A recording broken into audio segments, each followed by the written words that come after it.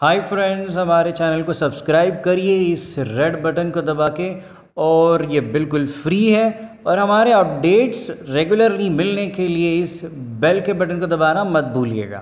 Thank you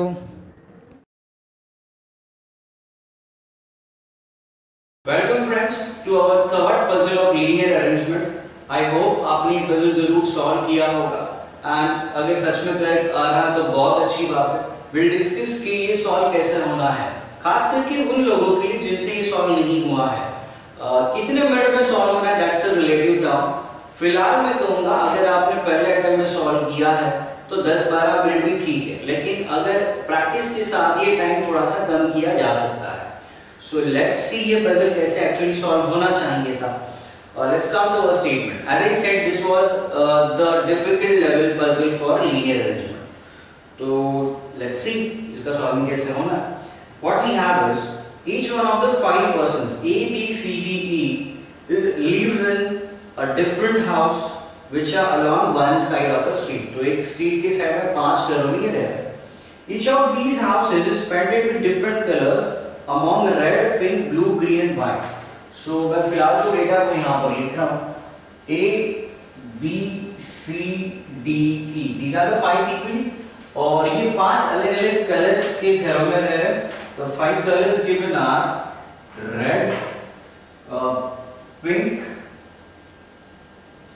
blue और क्या है हमारे पास green and last colour given is white ठीक है? सो so, ये पाँच कलर हैं। Let's come to the specific information now the first statement The house which is painted in red color is on the right hand side of the house in which A lives, which is painted with blue. So house which is painted in red color, जो red color में है, is on the right hand side of A, which is in blue color.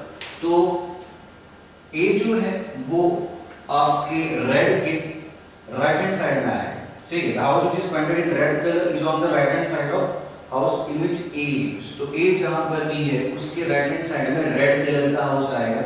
Look, what I am doing, मैं जो colour है colour code में bottom में लिख रहा हूँ। So, A के राइट में रेड रहेगा।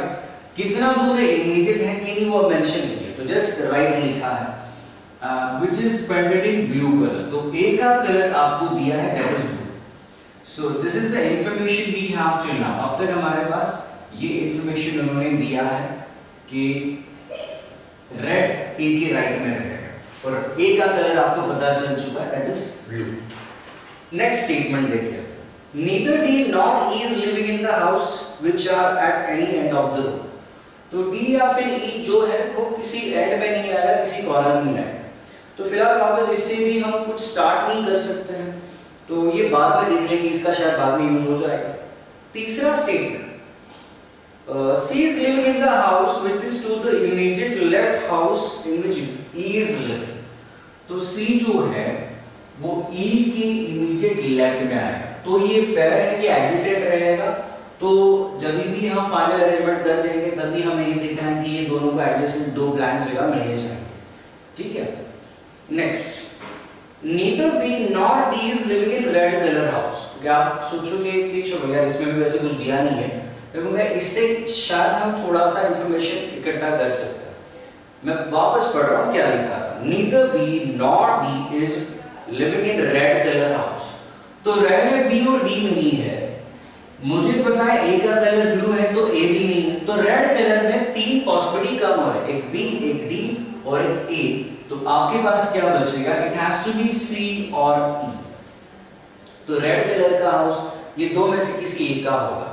तो यहाँ तक मैं कहूँगा इतना इंफॉर्मेशन हम इकट्ठा कर रहे हैं। नेक्स्ट स्टेटमेंट क्या है?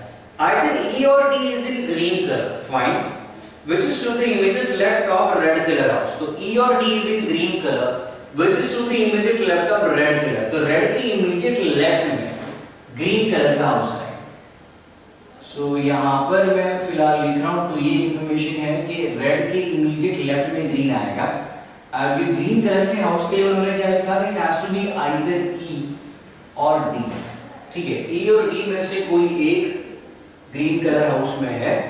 ये दोनों का एक से किसी एक का है और ग्रीन जो है वो रेड के लेफ़्ट में रहेगा। दैट्स इट लास्ट वाला स्टेटमेंट जो है neither of the extreme houses are painted with white तो एक्सट्रीम हाउस व्हाइट में नहीं है ठीक है। देख लेंगे इसका लास्ट में क्या करना है। फ़िलहाल ये इंफॉर्मेशन है जिसमें से हमें कुछ शॉर्टलिस्ट करना है।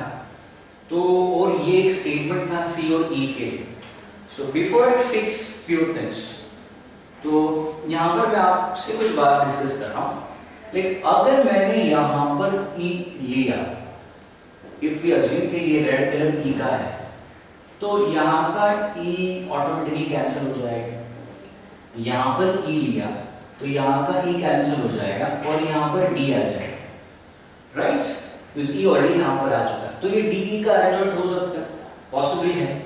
लेकिन उन्होंने एक स्टेटमेंट दिया था सी और ई का। C E adjacent C is to the immediate left of तो ये दिखना चाहिए। आप जो देख रहे हो तो डी और ई है। इसका मतलब हम यहाँ पे ई को नहीं बिठा सकते बिकॉज़ यहाँ पर ई लिखेंगे तो यहाँ पर डी आ जाएगा। और डी का जो ये अरेंजमेंट है, ये कॉन्ट्राडिक्शन बना रहा है इस स्टेटमेंट के साथ जो सी और ई के लिए था। सो विद दिस मुझे इतना तो पक्का पता चल गया, यहाँ पर ई नहीं आ सकता है। बिकॉज़ उसके आगे फिर प्रॉब्लम क्रिएट हो रहा है। तो यहाँ पर कौन आएगा? It has to be C तो मैं वापस ये जो था वो लिख रहा हूँ यहाँ पर हमारे पास दो चॉइसेस थे सी और ई e, और यहाँ पर हमारे पास दो चॉइसेस थे डी और ई e, ठीक है? तो यहाँ का ई e पॉसिबल नहीं है तो वहाँ का ई मैं कैंसिल कर रहा हूँ। तो यहाँ पर सी आ जाएगा। यहाँ पर सी आ गया तो ये अरेंजमेंट बता रहा था कि सी और ई ऐसे एडजेसेंट दिखने चाहिए। ठीक है? तो सी और ई एडजेसेंट और ई इमीडिएट राइट में दिखना चाहिए।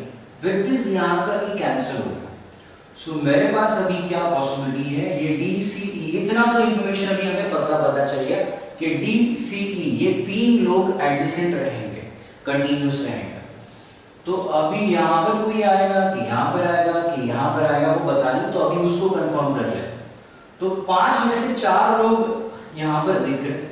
तो आई हैव टू पॉसिबिलिटी एक पॉसिबिलिटी ये हो सकता है। ठीक है? या फिर दूसरा पॉसिबिलिटी यहाँ पर अगर कोई नहीं है, वो भी हो सकता है। तो डी सी ई तो फिर यहाँ पर या तो मुझे जगह छोड़ना या फिर यहाँ पर मुझे जगह छोड़ना पड़ेगा, अगर पाँच लोगों को बिठाना है तो। तो मैं इनके कलर्स भी यहाँ पर लिख रहा हूँ। This was blue this was green this was red ये हमें पता नहीं अभी तक। और ये था blue we had this as green जो D है और रेड है C. Let's come to the statements वहाँ पर एक स्टेटमेंट था जो हमने यूज़ नहीं किया। मैंने कहा हम बाद में देख लेंगे। That statement was fourth statement fourth हमने यूज़ किया नीदर बी और D is living in red colour उसके पीछे एक स्टेटमेंट था second statement neither D not is living in the houses which are at any end of the row. तो neither D nor E, तो D या फिर E किसी corner में नहीं आया E किसी अगर कॉर्नर में नहीं आ रहा तो ये अरेंजमेंट हमें कैंसिल करना पड़ेगा बिकॉज़ E कॉर्नर पे आ रहा इन द सेम वे मैं ये अरेंजमेंट बना सकता था मतलब यहाँ पर कोई हो सकता है यहाँ पर कोई हो सकता है। लेकिन अगर मैं यहाँ पर किसी को जगह दे रहा हूँ तो ई कॉर्नर में आ रहा है तो क्वाइट ऑब्वियसली मुझे यहाँ पर कोई एक एक्स्ट्रा बंदा होना चाहिए। सो so, यहाँ पर आपके पास ई e कॉर्नर में नहीं आ सकता। There has to be someone on this side if with this इतना तो पता चल गया कि यहाँ पर कोई है। पाँच ही लोग थे, चार लोग तो फिक्स हो गए तो पांचवा एक बंदा रह गया आपके पास बी सो बी यहाँ पर आ जाएगा।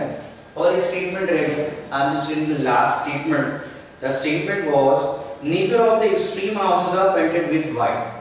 तो जो भी एक्सट्रीम हाउसेस है, जो भी कॉर्नर के हाउसेस है, वो व्हाइट में पेंटेड नहीं है। तो ये व्हाइट नहीं रहेगा। बाकी तीन ऑक्यूपाइड है तो व्हाइट कलर यहाँ पर ही आना है। तो यहाँ पर व्हाइट आ जाएगा। विद दिस एक जगह खाली रहेगा एक कलर के लिए। सो दैट कलर जो यहाँ पर नहीं हुआ था वो पिंक था।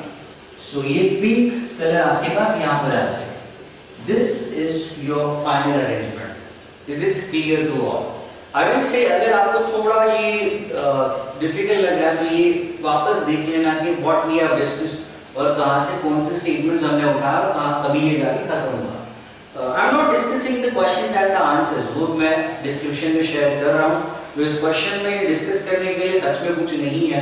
अगर ये अरेंजमेंट है you can read the question and you mark your you can mark your answers that's it उसमें आपको कुछ एक्स्ट्रा दिमाग नहीं चलाना ठीक है? होपफुली ये जो भी हमने तीन पजल्स डिस्कस किए लीनियर अरेंजमेंट के, मैं कहूँगा मेरे साइड से सच में काफ़ी to understand the basics and understand some difficult question इसके बाद में स्पीड बढ़ाना will depend on your practice please practice enough questions to have good accuracy uh, in limited time for these kind of questions ठीक है so we'll meet again in the circular arrangement based puzzles तब तक के लिए bye bye from my side thank you and do subscribe our channel if you really like this video thank you very much once again